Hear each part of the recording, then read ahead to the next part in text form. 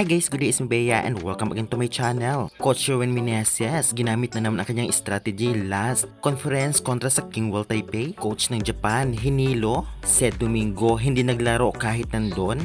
Alaysa Valdez, kunwaring binangko para hindi mabasa ang game. Japan, kahit panalo ay pinahirapan ng creamline. Ramdam, ang lakas nito. Lahat po yun ang ating pag-uusapan kaya before that, don't forget to like, comment, and subscribe and pahit yung notification bell para lagi po kayong updated sa aking mga bagong gawang video about sa volleyball dito sa Pilipinas. Panalo nga ang Kurashiki Ablaze ng Japan sa loob ng 4-set match sa mga scores na 25-20, 25-21, 18-25 at 25-14. At ang player of the game nga ay si Takahashi Kaoru, ang libero ng Kurashiki na may 16 excellent digs at 5 excellent receptions. Coach ng Japan, pinahirapan at hinilo ni Coach Sherwin Meneses. Totoo nga, kitang-kita nga natin na ibinabad ni Coach Sherwin sa first set ang kanyang first six maliban kay Sed Domingo. Siguro ay pinahinga na ito, alam naman natin ang mga middle blockers ay madaling mapagod.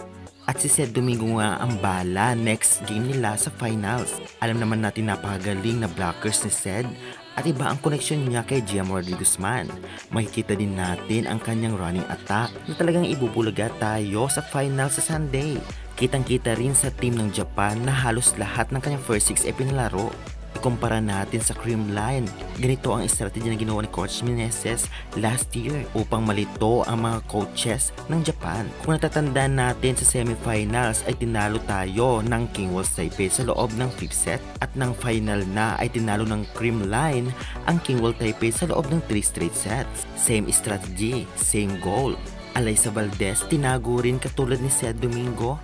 Kitang-kita natin na binabad ng konti si Alaysa, ngunit kunwari na binangko ito. Halatang sinadya ni Alaysa na wala siyang laro para magkaroon ng rason na ibangko siya. Isa rin sa dapat bantayan itong si Tamaro, ang top scorer ng Japan na Kurashiki Ablaze. Nakita nga natin sa 4 sets ay binangko na ito at hindi na pinalaro. Kaya naman dapat itong paghandaan ng Kremlin Cool Smashers. Kung ating titignan ay kayang-kaya ng CCS, naka 18-25 pa tayo. At kitang-kita rin na hindi masyadong katangkaran ang Japan ngunit patatalino ito. Pero kung ibibase natin sa performance ay lagi silang nabablock ng Kremlin Cool Smashers. May kita rin natin na kaya makipagsabayan sa bilis nitong si Jamor Guzman sa setter ng Japan kaya good luck na lamang.